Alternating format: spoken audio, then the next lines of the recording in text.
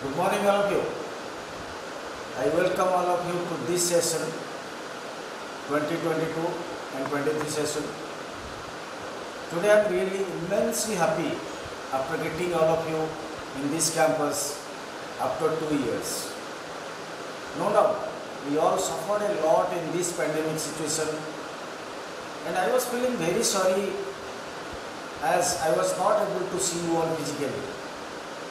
Today we'll enjoy a lot, we'll play over here, we'll dance, and very little study will be there today.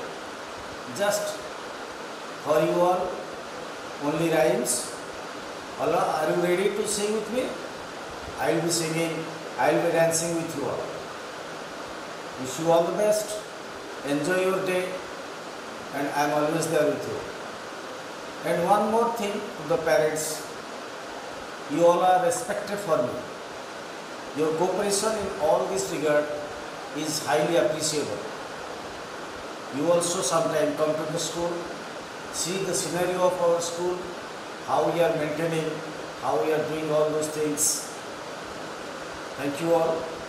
Hope for the best and anticipate the same thing from you all always.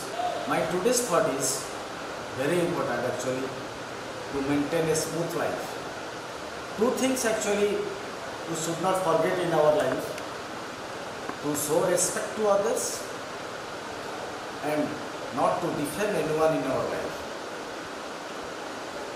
One thought is there you might be knowing. First you desire, then you deserve. Means if you show respect to others, you get respect. If you give your love and affection to the elders, you will also get respect from others. That I think all of my students will obey the same thing. So respect to your parents, to your elders, to your brothers and sisters. In another way, when you show respect, they will be giving you love and affection. And another thing, don't disrespect anyone in your life.